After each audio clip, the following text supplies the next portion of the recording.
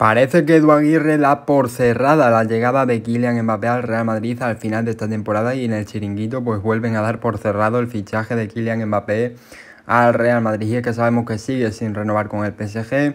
eh, y pues bueno pues podría llegar eh, a final de temporada o en enero firmar ya un precontrato para que llegue gratis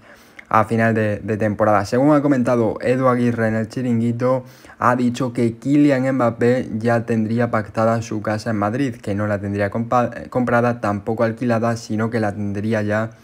reservada. Esto es lo que ha comentado Edu Aguirre, una información que veremos a ver si acaba siendo eh, cierta o no, pero según, Kylian eh, según Edu Aguirre, Kylian Mbappé ya tendría eh, pues bueno, su casa en Madrid reservada por, por un posible fichaje de cara a final de, temporada. Veremos a ver qué acaba pasando, veremos a ver si acaba llegando o no Kylian Mbappé, pero esto de la casa ya se habría comentado en otros mercados y Mbappé nunca acabó llegando.